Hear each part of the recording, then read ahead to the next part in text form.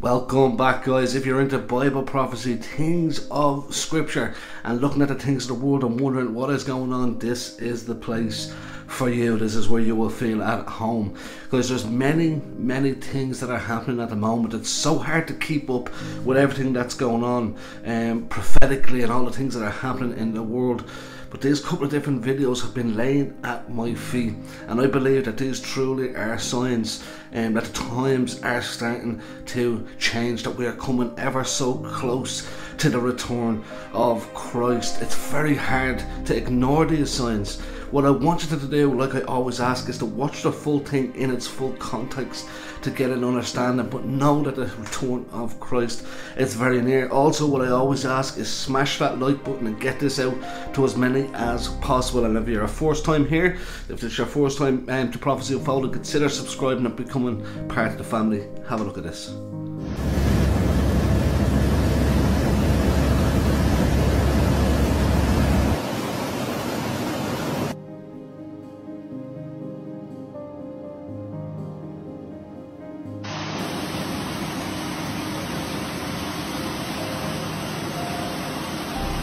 Might live to see this event called the rapture of the Church of Jesus Christ. We'll get into that in a moment where Christ comes.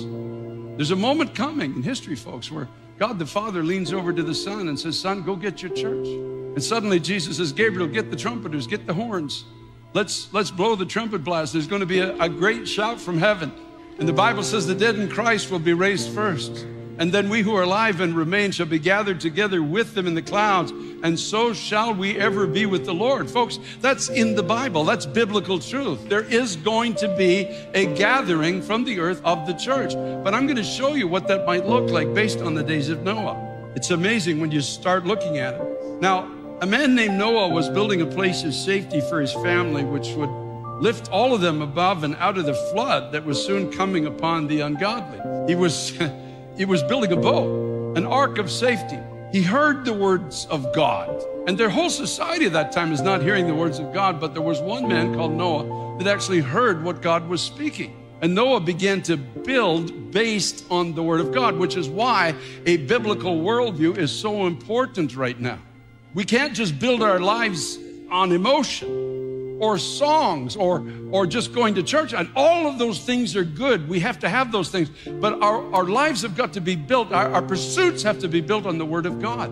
There has to be this biblical worldview and obviously noah had a biblical worldview in his time. The biblical worldview is that the world is about to be judged by god because of the weight of its sin. But god has prepared a place of safety for those who can hear what he's speaking to his people and for you and I today, that place of safety is in the cross of Jesus Christ. It's in the shed blood of the Son of God. It's in the promise of the Son of God. I will never leave you or forsake you. I've not come to judge the world, but I came that the world might be saved. When you came to Christ and gave him your life as your Lord and Savior, you entered into the ark of safety that's been provided for this generation. Second Peter chapter 2 and verse 5 talks about Noah not just building the ark at this time, but he was a, a preacher of righteousness, a, a, um, a voice that, that's saying essentially to the people, judgment's coming, folks. The weight of sin has become intolerable to God in this world. There are lines you can't cross with God. And when those lines are crossed, God says, I'm sorry, I, I would, I would like to extend time, but I can't. There's something in the heart of God. There's something about the nature of God and the holiness of God and looking down on the creation when He has created humankind in His image and we have allowed debauchery to, to get a hold of us to the point where we're, in a sense, not, not able to even hear anymore the cautions of the Word of God. And He looks down and says, it, it, it can't go on anymore. And